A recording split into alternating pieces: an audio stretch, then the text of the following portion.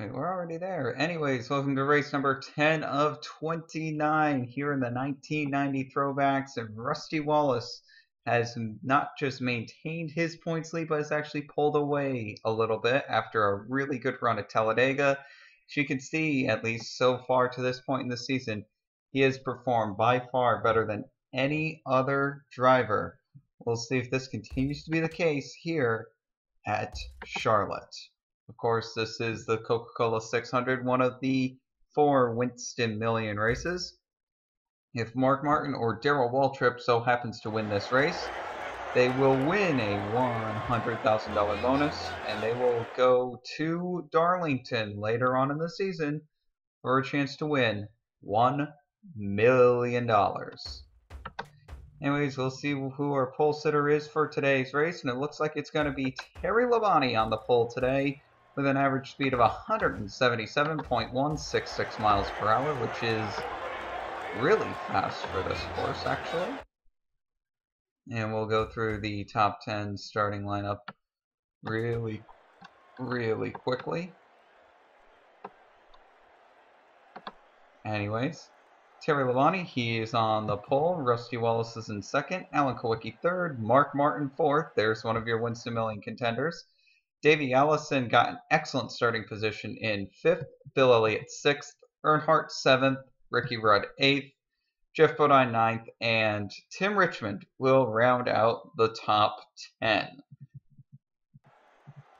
So Martin looks like he's going to be the best shot at winning this Winston uh, $100,000 bonus if he is to win today. Of course, he's starting fourth. Darrell Waltrip will be rolling off the grid in 15th. So he definitely has some moving forward to do. Other than that, it's just these drivers up here at the front. And here's the command. Drivers, start your engines.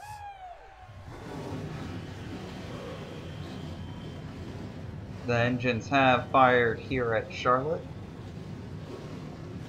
pace car is going to go off, and we are now getting the longest event of the year underway. By far one of the longest events of the year, if not the longest event of the year. Time-wise, and of course it's the longest event miles-wise, 600 miles.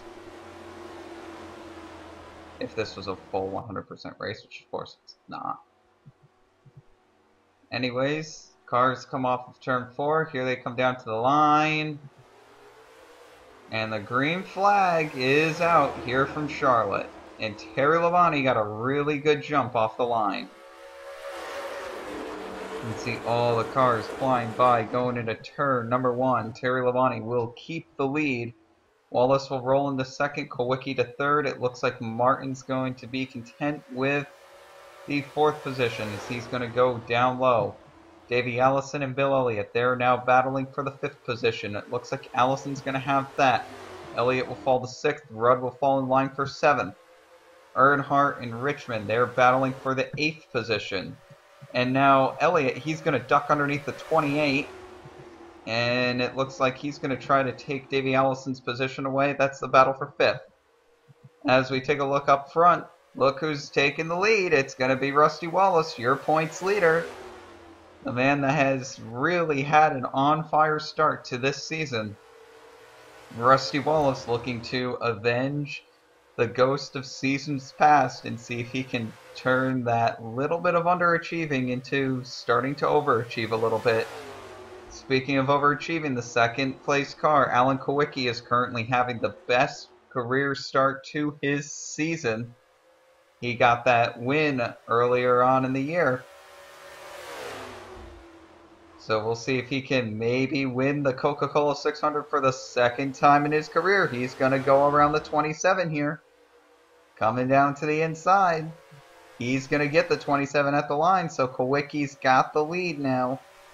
Martin's looking for a way around Terry Labonte. Labonte ducks to the inside of the 27 of Wallace. So Wallace is now going to try to fall back a little bit. Meanwhile, Kulwicki jumps out to a little bit of an even larger lead now. Kulwicki's starting to pull away. Labonte trying to find the best way around Wallace. It looks like just sticking it right down to the paint is the best option. Elliott now trying to get involved up here, and that is not a driver that has had the greatest start to the season, but at least he's been up here. Not exactly the headliner that he was just one season ago. You can see Earnhardt back there. He's down to 11th in points. He's really trying to go out there and impress today. He has not had a good start to the season either.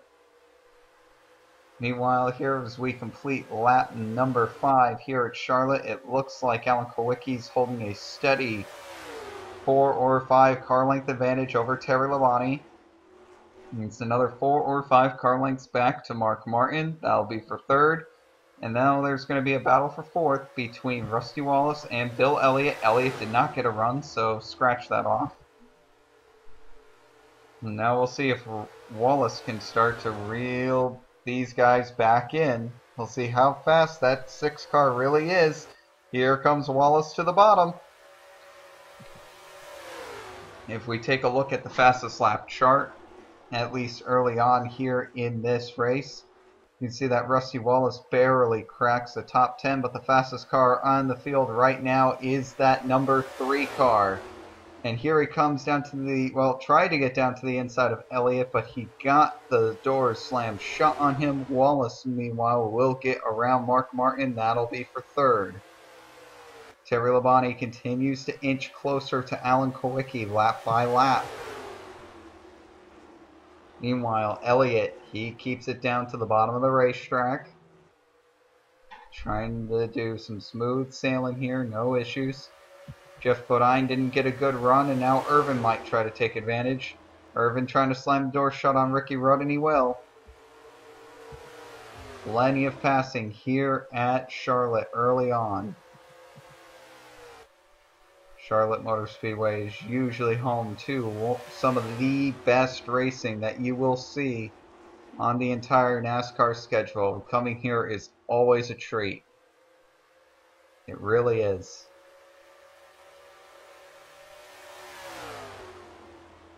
I know I might be a little bit biased in this, but personally, this is my favorite track on the entire schedule. It just flows beautifully, plenty of room to roam, lots of passing opportunities. It's just a high speed mayhem track. And it's really a track where anyone can come to and win. Earnhardt now, he's going to jump down to the inside of Elliott here. This will be for the fifth position. If Earnhardt can get around. It looks like, I don't think he's going to have him cleared coming off of turn 4, but he should have him cleared coming off of turn 2. So Earnhardt will have the fifth position. Geoff Bodine looks like he's going to slide into sixth here. So he's going to sneak around Elliott potentially. And he'll take another turn to do that. And Elliott looks like he needs to find the bottom of the track in the worst way possible. Ernie Irvan's now going to go by him. And Elliott has now lost three positions in two laps, and it does not look like that the free fall is done yet.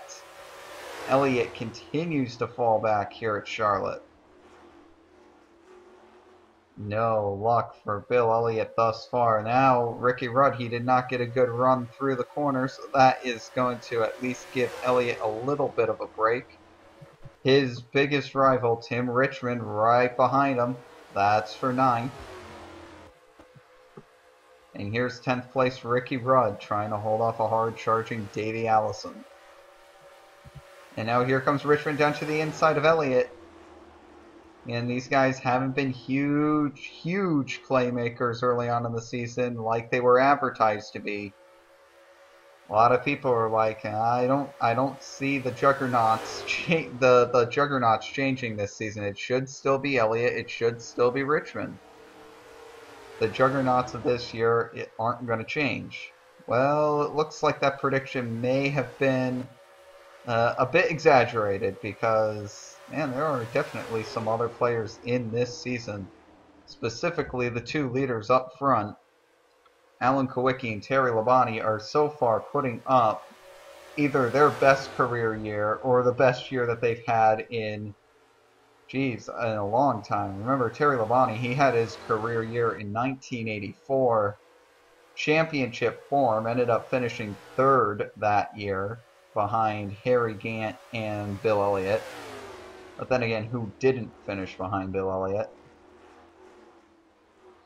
In that season, that was just a ridiculous crapshoot by Elliott to go out there, dominate. Not only did he, it, it was just domination of the middle of the schedule. He went into just the super speedways and he just won everything. Four wins in a row, the only time that's ever happened in Throwbacks history including winning five of six, and it was thought that Elliott was probably going to be the first person ever in the modern era of NASCAR history to achieve five wins in a row because at the end of his uh, four race win streak, they were going to Daytona. And sure enough, Elliott just put the car on the pole because it's Elliott. But uh, he ended up actually wrecking out of that race. I mean, but just think about this. It was actually a really tight championship points battle coming into the Coca-Cola 600. Uh, coming out of the Southern 500, Bill Elliott had an almost 600 point lead, and I'm not exaggerating when I say he had an almost 600 point lead. Now that lead did erode away a lot to the tune where Harry Gant actually had a shot of winning the championship in the last race of the season. It was going to take a lot, uh, several Christmas miracles for that to happen, of course, but sometimes that's how NASCAR works. I mean, Elliott needed some miracles if he was going to win the championship last year at Atlanta. he did it uh, you know, he had to make up 180 points in three races, and he did it.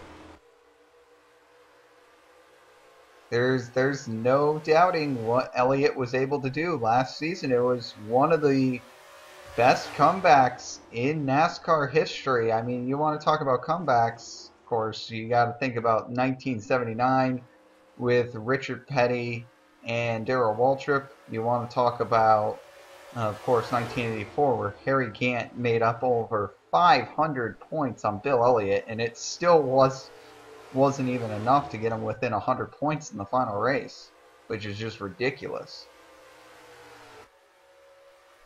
Remember, the final race back then also was Riverside, so everyone was expecting Elliott to regress, but he just won his first championship, and it's like, I'm just not going to regress. I'm just gonna take I'm just gonna take uh, the win every single week, and you guys are gonna like it. Despite winning five out of six during the middle of the season, he actually only ended up winning a total of eight races in the year. In the year, so he really cooled off in the final few races of the season. But which, by the way, those eight wins is still a throwbacks record that hasn't been beaten, but it's actually pretty typical because a lot of people have tied it. you know, Elliott, eight wins in 1984, comes right back. Darrell Waltrip, eight wins in 1985 to win the championship. Dale Earnhardt, 1986, actually did not get to eight wins. But Tim Richmond in 87, yep, and then you had Earnhardt and and then you had um, the crazy 1988 points battle, where I think it was both Earnhardt and Richmond got to eight wins. I think both of them did. Maybe it was only Richmond. One of the two got to eight wins. Last year, I think we actually had the least amount of wins for a championship winner ever, with with uh, Bill Elliott, I think I think he only had three. It's the least amount of wins, at least in throwbacks history, of course. NASCAR history, people have won the championship with just one win. Uh, if you take a look at Benny Parsons' 1973 season, it's a championship with only one win. Anyways, that was a massive tangent that I went on then. Basically had nothing to do with the race, but eh, it's interesting to tell the lore of the series anyways. Uh, coming back to it, basically nothing's changed, uh, with the exception of Dale Earnhardt coming into the fourth position and Rusty Wallace coming into the second position. Your leader is still the seven of Alan Kulwicki. That hasn't changed. Uh, Mark Martin's trying to desperately hold on to a top five here, as Geoff Bodine, Ernie Irvan, and Tim Richmond are all basically saying, Mark, you gotta give me the position by now and Bill Elliott has fallen back to 10th. So Elliott has really regressed badly. As far as the other Winston Million contender, Darrell Waltrip, well, he's in 12th, and barring a few Christmas miracles, uh, I'm going to safely say that he's probably not going to be in contention for the Winston Million. Martin's still got a good shot, though. He's got a fast car, fourth fastest on the boards. So Martin does have a fast car. I just think it's only fast in the short run because, man, his long run speed seems horrible, especially compared to somebody with uh, very good, who has had very good lasting speed all season long, of course, Geoffrey Bodine.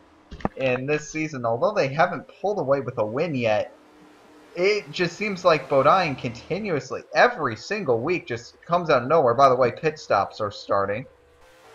So that's really important to note. So Rusty Wallace, he's going to go back to the lead.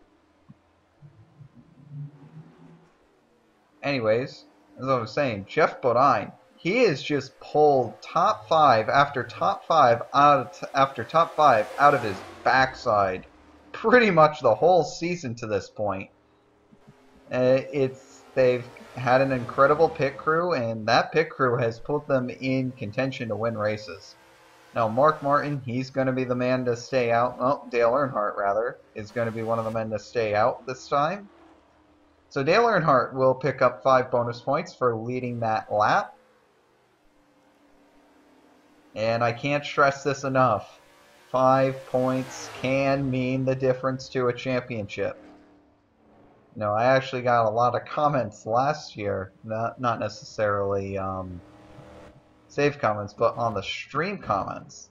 And people are saying, oh, why are you making a big deal of five points? Five points doesn't mean anything. Five points isn't getting you anywhere. It's just five points. What's the big deal? Blah, blah, blah. Five points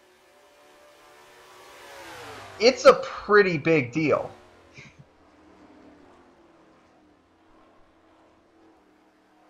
In fact, I would argue it's an extremely big deal.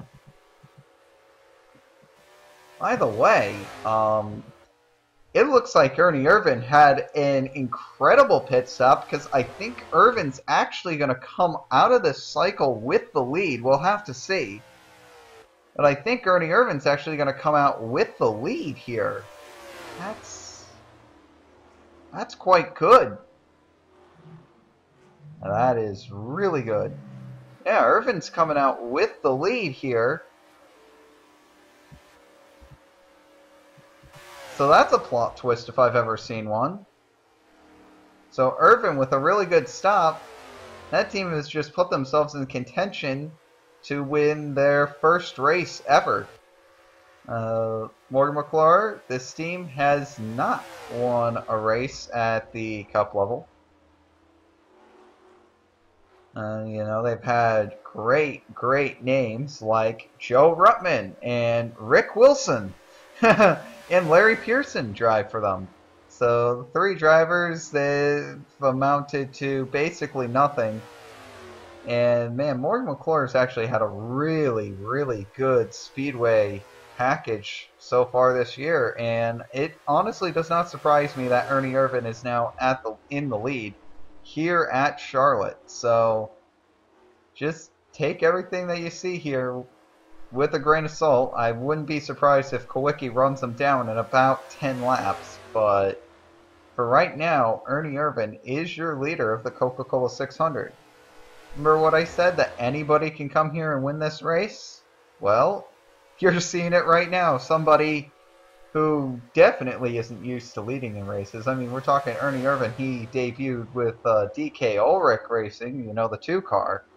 And that car just isn't the best equipment. And he was, he, I think he had back to back like 22nd or 23rd place points finishes.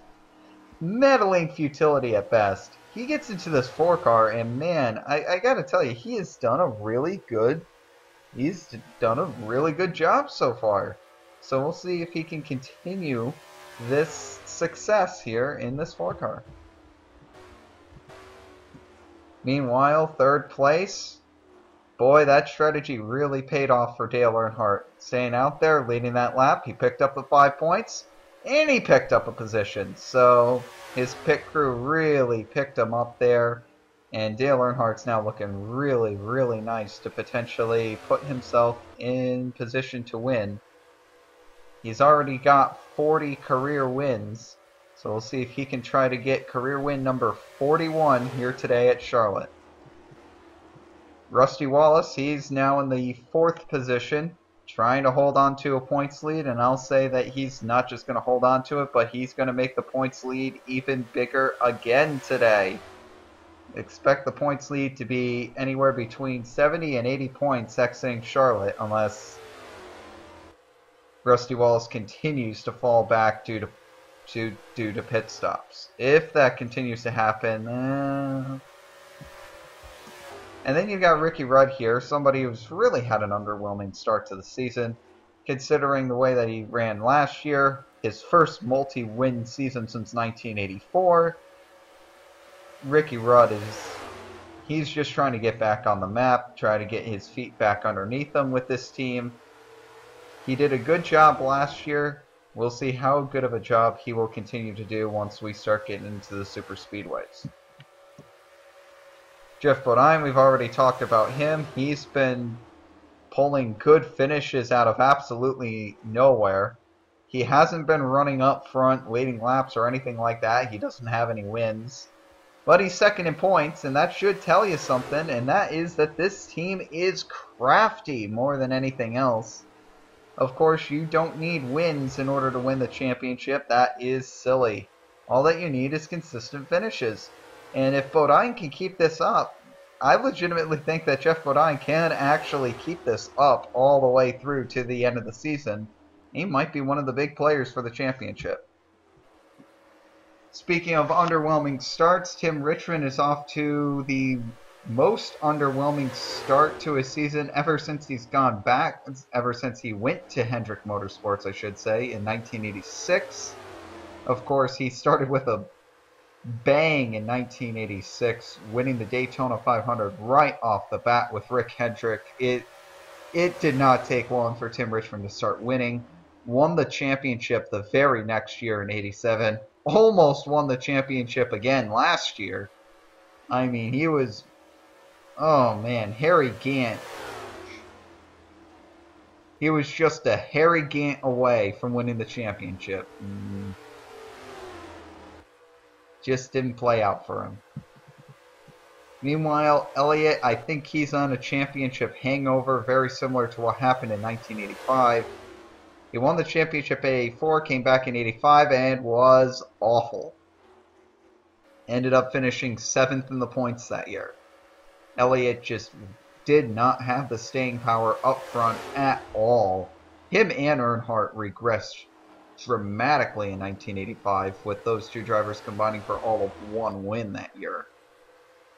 1985 was just a crazy season overall. But Elliott, he continues to march on here. Although he hasn't had the greatest start to the season, he's going to try to put the pieces back together and see what he can do. Meanwhile, Mark Martin coming off of back-to-back -back Winston 500 victories last week at Talladega. Man, he was the car to beat back then, and he is just not the car to beat today. Martin just does not have the speed at all. He says that he does not have enough car under him to take the checkered flag today. We'll see if that continues to be the case. Right now, Mark Martin has been slowly but surely falling back through the field. As you can see him battling for 8th with Geoff Bodine. Meanwhile, going all the way back to 10th, and we actually see three more Hendrick cars. Terry Labonte in 10th, Ken Schrader in 11th, Darrell Waltrip in 12th. And all three of them are just not having a good day, and Ken Schrader is just not having a good season at all, considering his breakout year last year with three wins. Two wins, rather. Two wins for Schrader. Breakout season in that 35 car. He comes here with the 18, nothing. So, that, he's one of the two drivers that their contract with Hendrick is up at the end of the year. It's the same thing with Waltrip. His contract is up with Hendrick at the end of the year. So, these two really need to make an impression. Darrell Waltrip absolutely has. He's proven that he's got plenty more in the tank underneath him. He's got plenty more in the tank. And meanwhile, here's Sterling Marlin in the 13th position. He's just another driver that, you know, you, you would expect a 15th place points finish out of Sterling Marlin. Right now, he's 23rd. He needs some help. No doubt about that. Meanwhile, up here at the front, we've all of a sudden got a dogfight. Lap traffic has really brought these three cars together. Ernie Irvin has a little bit of an advantage, but Earnhardt is right on the back bumper of Alan Kulwicki.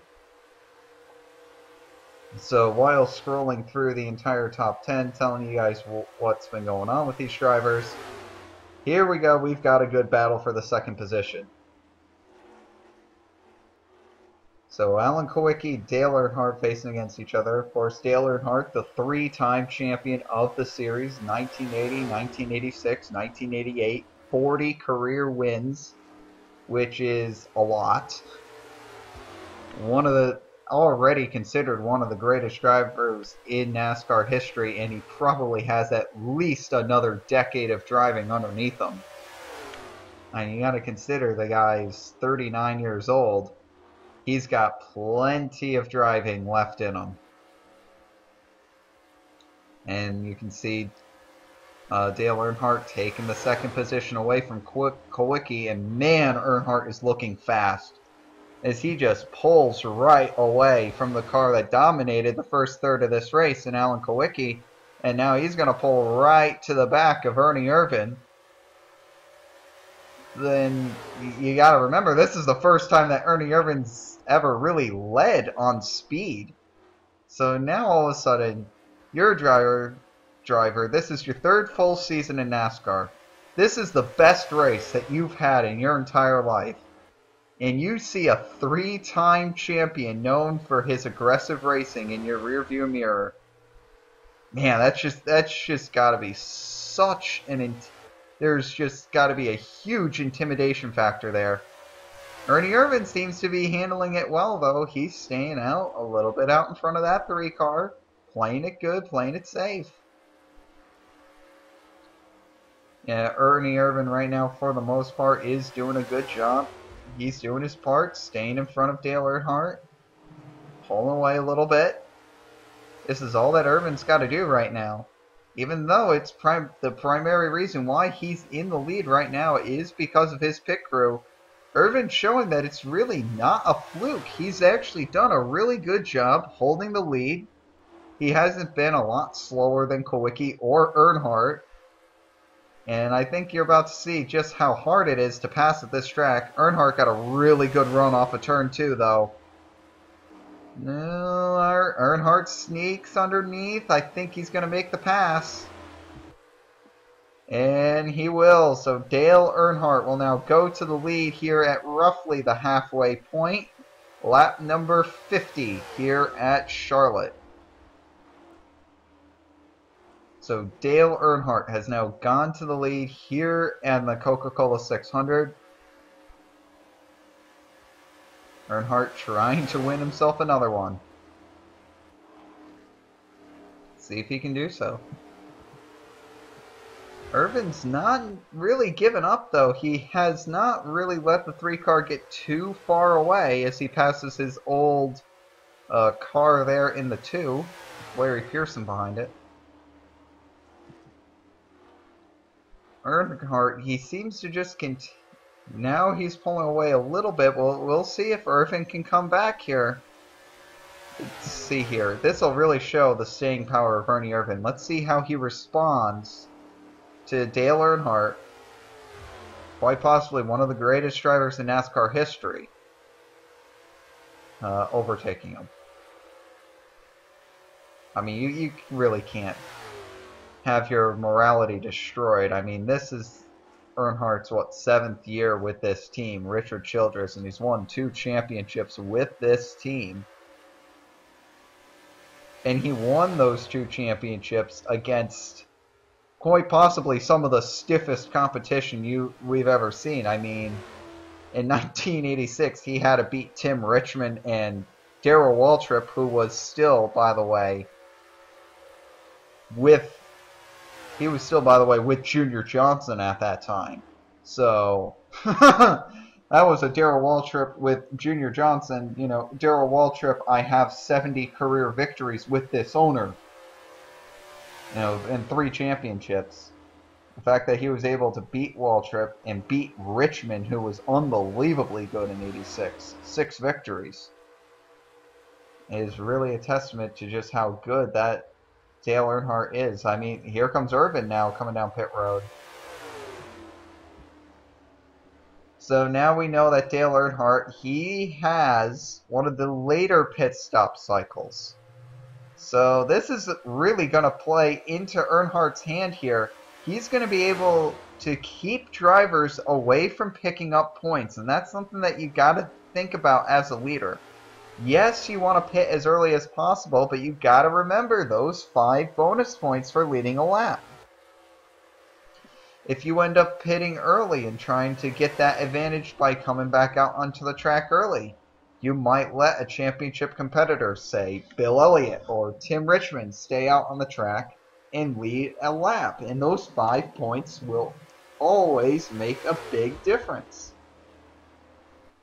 Uh, I don't think that there's any danger of that happening. Earnhardt's going to stay out on the track as long as possible. He's quite possibly one of the most aware drivers in NASCAR. So he is completely aware of this. He knows.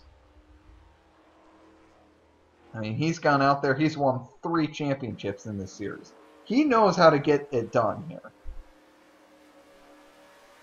Undoubtedly. So Earnhardt, he finally slows down. He peels off the track. Martin also peels off the track. And man, Ernie Irvan had another killer of a stop as he is two seconds ahead of Kulwicki again. Man. As I try to catch back up to Irvan, wherever he is. So there's Ernie. And Ernie might come might just come back out on the track with the lead yet again. As this pit crew has been spot on today, and I think will continue to be spot on. Imagine if a yellow flag comes out right now. That would be horrible. It would be great for Earnhardt and Martin, but it would be horrible for basically everybody else. Now this four car comes back out onto the lead lap. See if we can find where Earnhardt is. There's Earnhardt. So once again, Ernie Irvan's crew puts out a great stop, and this this race is determined more often than not by pitch strategy, not necessarily by how fast you are, but by pitch strategy, and that's one of the reasons why I love this race. This is a race that unequivocally can be determined on pitch strategy, period. And that is just awesome. I really don't care who you are, or who you cheer for, or whatever. This is these are the kinds of things that make races like this awesome. Just undoubtedly 100% awesome.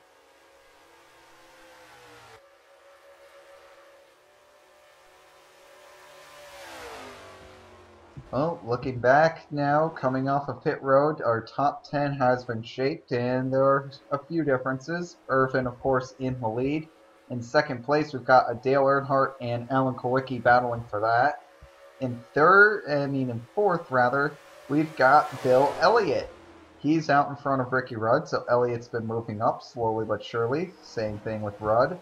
In sixth place, we have Geoff Bodine. He's still hanging on up there.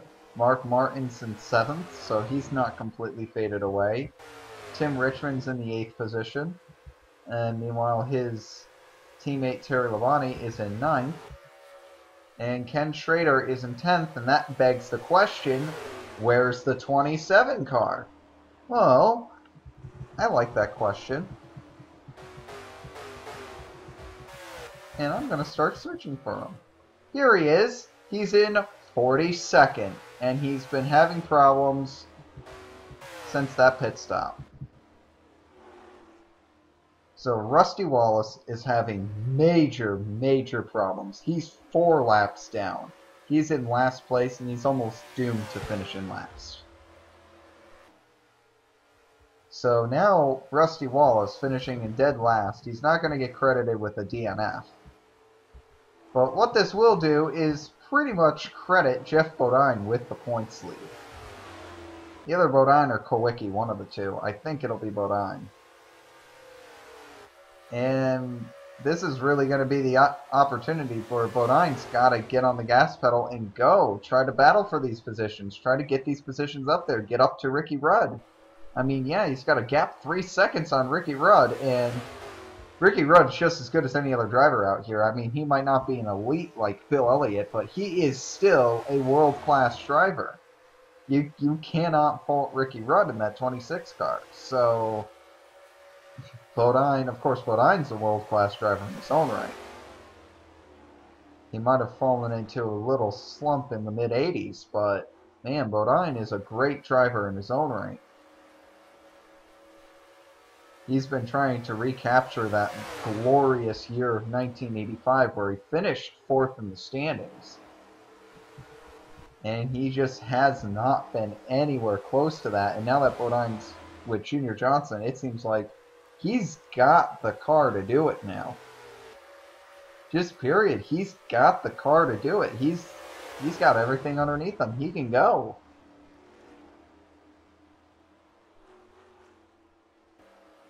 Thing is that Bodine's just got a lot of gap to make up. And if Rudd and Elliott continue battling for this fourth position, it may be possible. It should be understood right now that Dale Earnhardt is flying around this racetrack as he's trying to do F-Zero to catch up with Ernie Irvan. Which, yeah, Irvan's going through some lap traffic, but man, Earnhardt is really flying around this track trying to catch up to Irvan. Uh, right now, it looks like we're going to have another first-time winner here in the Coca-Cola 600. Ernie Irvan's looking really good right now. Of course, I probably just jinxed him by saying that. But hey, if you picked Irvan to win, I, I think you're going to be right because Irvan's pit crew has been completely flawless. Irvan's pace has been pretty good. Not great, but good. You take a look at the fastest lap charts. Seventh. Not great. Good.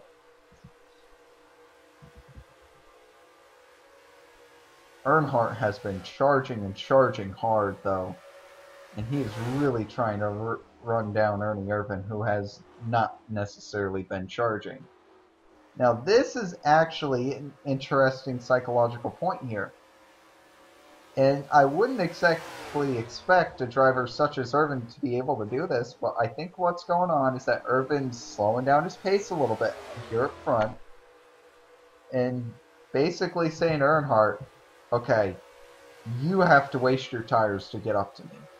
I'm going to let you get that chance to waste your tires and get up to me. Now, once you catch me, I'm going to start pulling away because I've got fresher tires than you because you've been going at full pace. It's an interesting strategy and I love it. But I don't know if that's what Irvan's intentionally doing here. I think he's just taking it easy up here at the front. And he hasn't been up front ever before. At least at this level. This is just not something that Irvan is accustomed to, and you gotta figure that the next round of pit stops is gonna be coming up soon, maybe in the next six to eight laps. So if Irvan can pull out yet another banger of a pit stop, this race is his. This race is just unequivocally his. Yeah, but he's got to he's got to get another bang on pit stop. That's all that he needs. It's just one more perfect stop, and he might have his ticket punched to victory lane. Geoff Bodine, he has been catching Bill Elliott. More like Elliott's been falling back, but he has been slowly catching Bill Elliott. We'll see if Bodine's actually able to get up to the fifth position. It'll be interesting to see how the championship lies after this. Remember all those races where, oh yeah, the championship's being contested by less than 20 points? Eh, it's going to go back to being that at the end of this race, considering Wallace has um, fallen to five laps down now. Again, he's not going to get credited with a DNF. But this has just got to be heartbreaking for this team. And just confidence breaking for this team in general, too.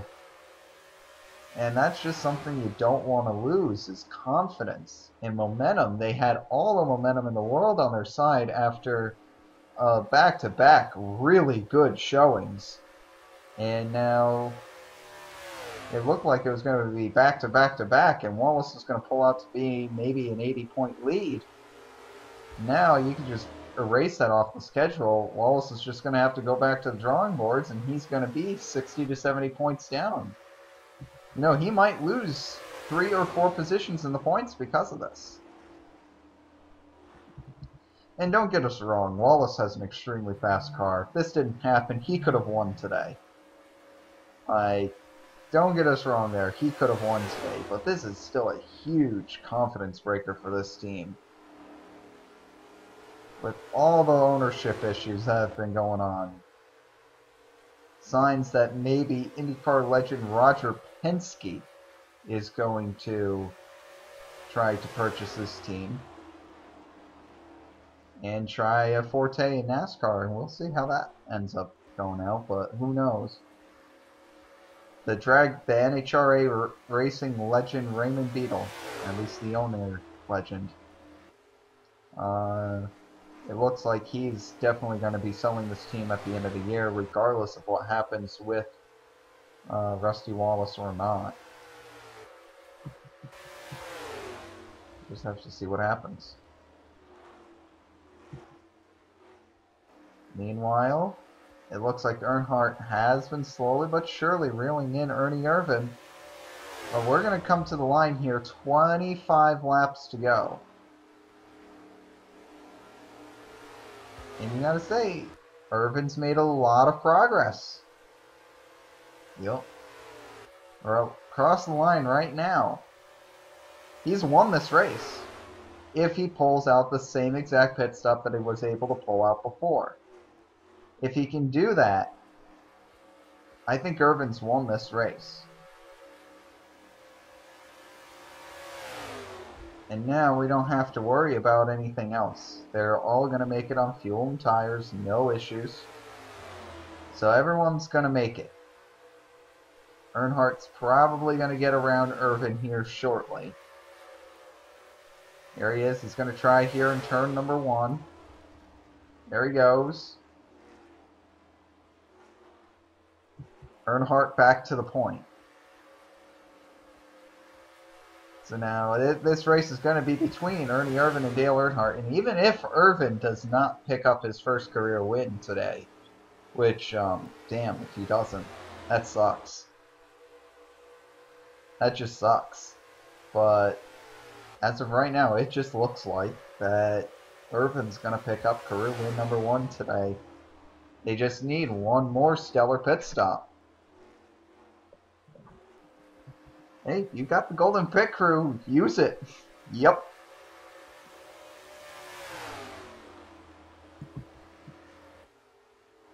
So now the question is when to pit.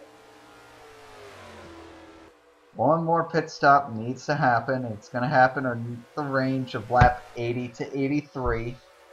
Some lap traffic is now going to pre prevent Earnhardt from really getting away from Irvan.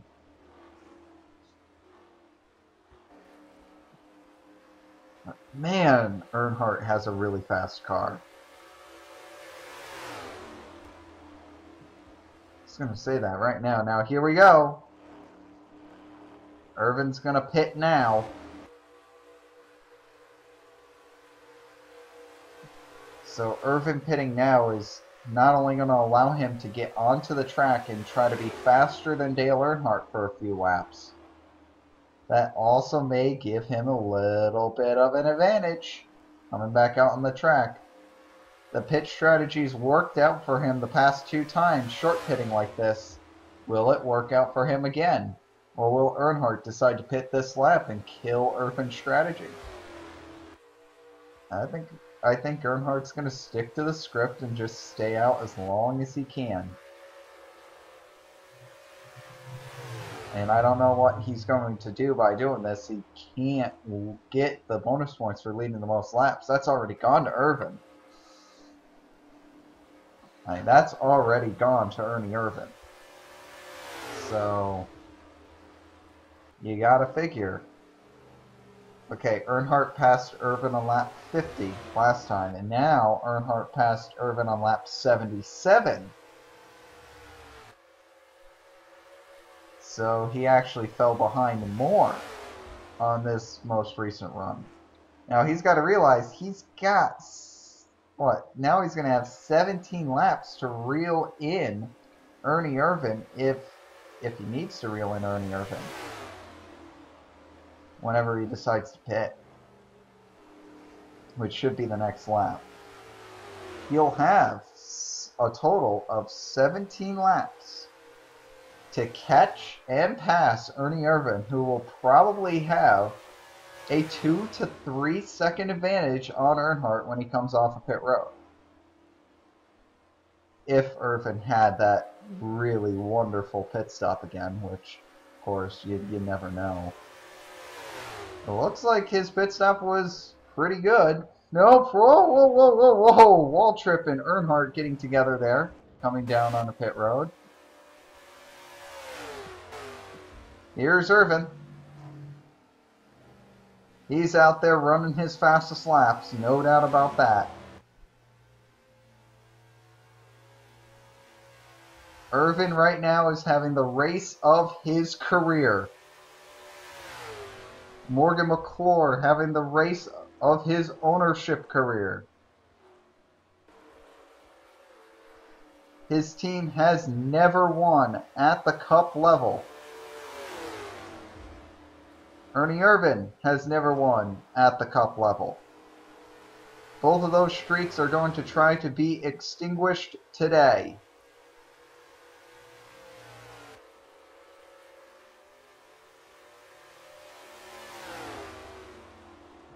See where Earnhardt is. There's Earnhardt right there.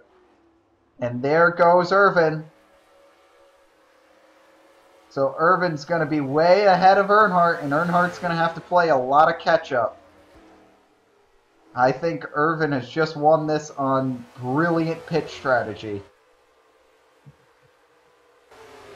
It's not, it's a pretty big gap that Earnhardt's going to have to get here. 16 laps, he's got to make up four seconds. wow!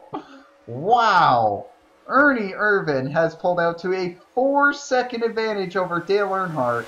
And Earnhardt had a second advantage as Irvan came onto the pits. So that means that Ernie Irvan gained a whole five seconds on Dale Earnhardt on pit road. 15 laps to go. Ernie Irvan with the race of his life.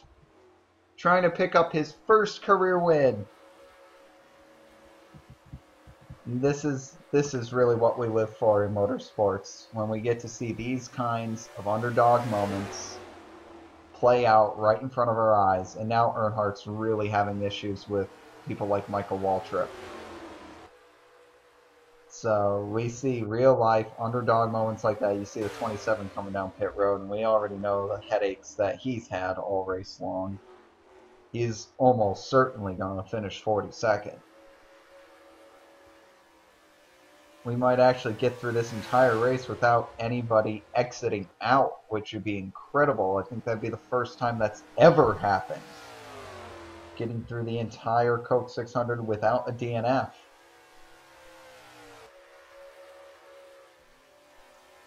Right now, it's just looking great for Irvan.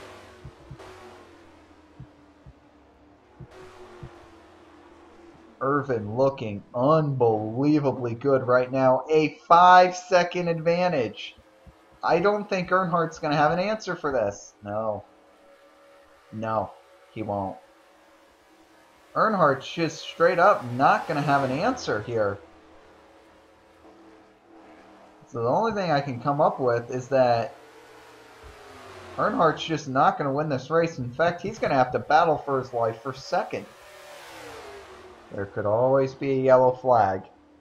Yeah, but we're we're going to be restarting with inside 10 laps to go, and look at all the lap cars that are currently between Ernie Irvan and Dale Earnhardt. No way, no how. I think Earnhardt's going to still find a way to make this a race. Don't count him out. 11 laps to go. Earnhardt is gaining, no doubt about it, but it, I think the rate is just insignificant to a five second advantage. It, it's going to be close, actually. It may actually be a lot closer than we think. 10 laps to go. Irvan is all alone at the front.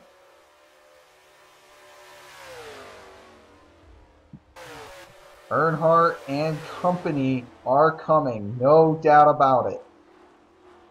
I don't think it's enough.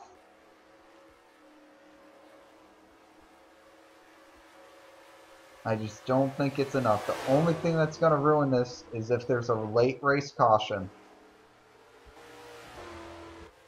Four seconds is just a lot of time to make up. Nine laps to go. You got to consider Irvan's tires. Five more laps, five or six more laps on them than Earnhardt. So Irvan's not going to be able to go as fast as Earnhardt. He made up all that time on the track while Earnhardt was still out in the track leading laps. Irvan came down, pit, got fresh tires, and that's when Irvan had much fresher tires than Earnhardt.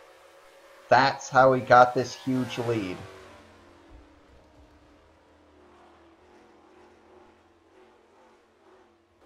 Earnhardt is closing in. It won't be enough. I don't think.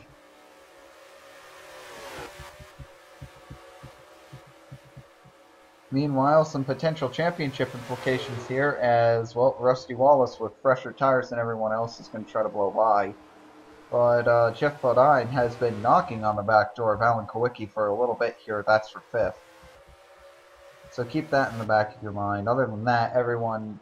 Well, we've also got a battle for eighth between Mark Martin and Terry Labonte, but other than that, everyone else is pretty much just spread out.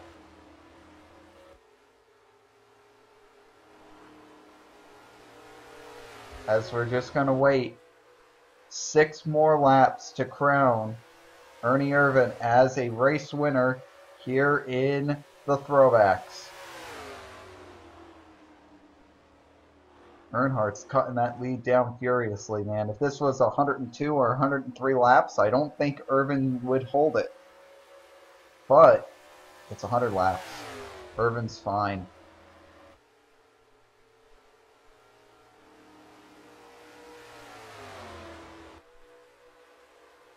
Five laps to go.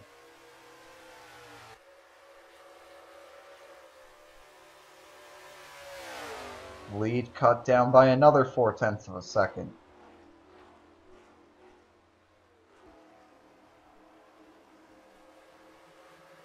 This race has had a lot of crazy twists and turns in it. But this would be the ultimate. This would just be the ultimate ending if Irvan was able to do this. Four laps to go. Earnhardt basically reels him in nada. Nothing at all.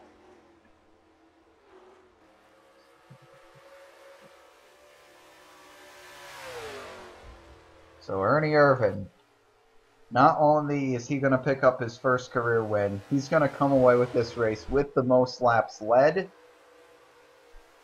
He can really give a big nod to his pit crew for deciding just an amazing strategy today.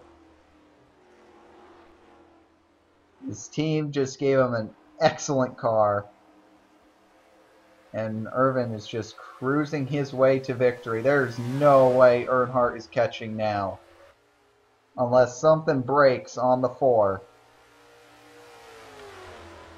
And that's what's going to have to take. Something's going to have to break on that four car. And I just don't think that's going to happen. Two laps to go. Earnhardt's going to have to reel in 1.25 seconds per lap. And that's not going to happen. Yeah, if Earnhardt was going to pass Irvan, he's basically got to be on his back bumper here going into turn four, and that's not happening. So, yeah, Earnhardt is, he's caught up a lot, and that's because he's got fresher tires, but it isn't enough.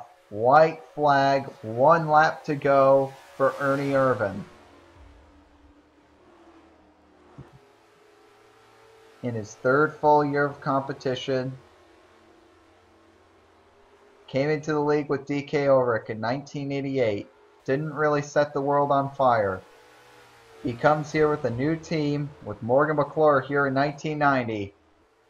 And it looks like it's going to pay off big time for him. Ernie Irvan is going to win the Coca-Cola 600. Unbelievable. Kulwicki will edge out Geoff Bodine to the line. I think Bodine will remain, well, get back into the points lead. And what heartbreak for Rusty Wallace. He's going to end up finishing 42nd, five laps down. In an unfortunate turn of events.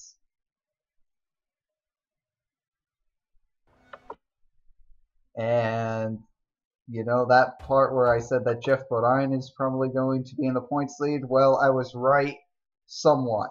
There is a tie for the points lead as Elliott and Geoff Bodine both have 1,455 points. Alan Kulwicki is just four points back there, uh, tied with Terry Labonte for most top tens, if you can believe that or not. And you can see this is just so, so close. If you're in the top nine, you are in contention for this championship. This may be one of the craziest NASCAR seasons of all time. We'll see you next time for the Budweiser 500 at Dover.